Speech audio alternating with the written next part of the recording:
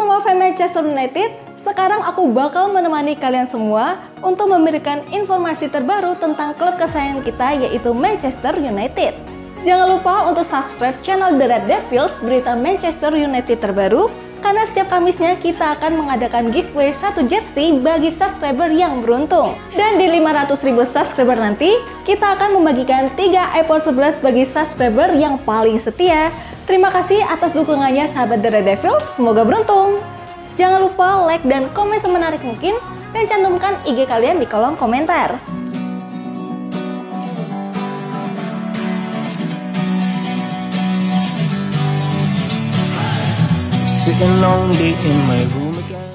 Rashford tak usah khawatir jika dibuang Man United. PSG siap menampung.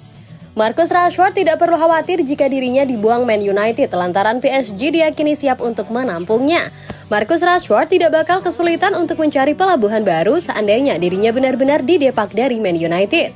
Masa depan Marcus Rashford di Man United mulai mendapat sorotan baru-baru ini. Hal itu tak lepas dari tindakan sang pemain yang dianggap indisipliner. Alasan sakitnya justru diterima usai melakukan mabuk-mabukan di sebuah klub malam di Belfast. Terkait hal itu, Rashford lantas dipanggil menghadap Erik Ten Hag pada Senin 29 Januari 2024 waktu setempat bersama dengan agen sekaligus kakaknya. Jebolan Akademi Man United itu kemudian didenda oleh klub dengan nominal dua pekan gajinya. Permasalahan indisiplinernya lantas ditangani oleh klub secara tertutup. Profesionalisme dan kedisiplinan dari Rashford lantas mendapat kritikan dari legenda dan rekan-rekannya di Man United. Hal itu jelas mempengaruhi masa depannya di Old Trafford. Dikutip Belasport.com dari iNews, penyerang berusia 26 tahun tersebut tidak perlu khawatir jika ditendang posisinya dari Man United. Raksasa Liga Prancis PSG dikabarkan mempertimbangkan untuk memboyong Rashford. PSG bahkan sudah mempersiapkan rencana untuk merekrut Rashford setelah musim 2023-2024 berakhir. Itu juga bertepatan dengan desas-desus yang masih menghinggapi mereka akan masa depan Kylian Mbappe. Adanya Rashford diyakini bisa meninggalkan lubang yang ditinggal oleh Mbappe yang disebut-sebut akan menjadi pemain Real Madrid musim depan. Ketertarikan PSG terhadap Rashford sejatinya bukanlah cerita baru. Les Parisiens sejatinya sudah mengikuti perkembangan pemain nomor 10 Man United tersebut sejak musim panas tahun lalu. Pendekatan PSG gagal lantaran sang pemain memilih menaikkan kontrak jangka panjang hingga Juni 2028 bersama Man United. Namun jika Rashford tersedia dengan harga yang tepat dan Ineos memutuskan untuk segera menyingkirkan sosok yang mulai menjadi benalu klub, tentu saja hal itu akan diterima dengan terbuka. Ditanya siapa yang cocok gantikan Erik Ten Hag di Manchester United, ini jawaban Casemiro.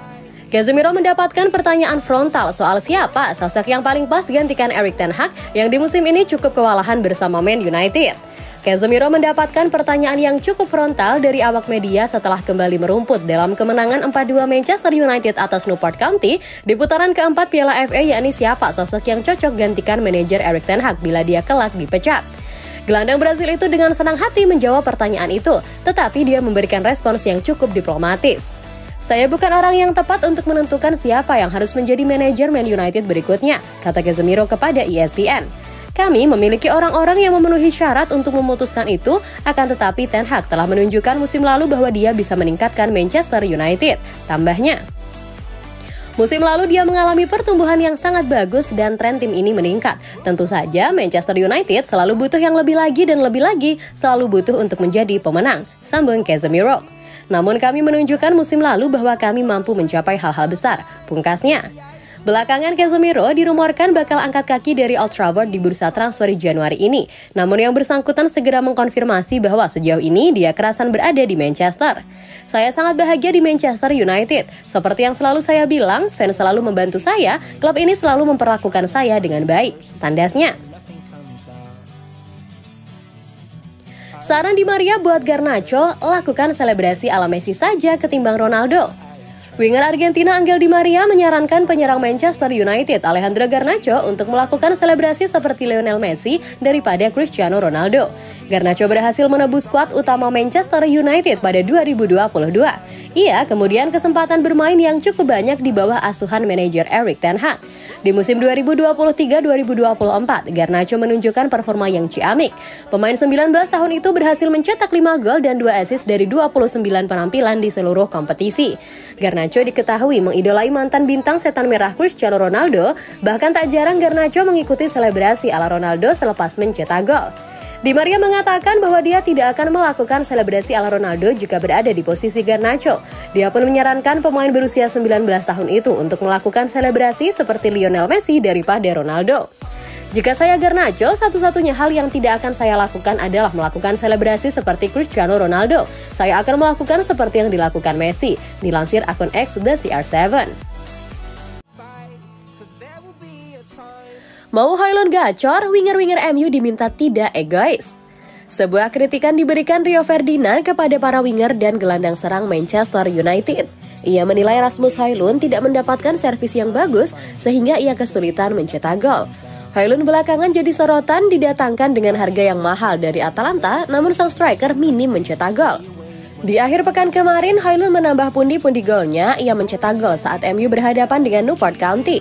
Namun sepanjang laga, Højlund kerap terlihat frustasi, pasalnya para winger MU khususnya Alejandro Garnacho lebih suka menembak bola sendiri di kotak penalti, alih-alih memberikan umpan kepada Højlund. Kepada Five Beat Five, Ferdinand mengaku sangat kasihan terhadap Hoylund. Ia menyebut sang striker kerap membuat pergerakan yang bagus di kotak penalti, namun ia kerap tidak diberi umpan oleh rekan-rekannya. Saya sudah mengamati dari dekat bahwa dia Hoylund sudah membuat pergerakan yang bagus di kotak penalti, namun tidak ada rekan-rekannya yang memberikan umpan, keluh sang legenda. Tidak ada gunanya ia Hailun membuat pergerakan yang bagus di kotak penalti jika tidak ada yang memberikan umpan kepadanya. Dia harus menegaskan kepada rekan-rekannya agar ia diberi umpan. Pungkasnya.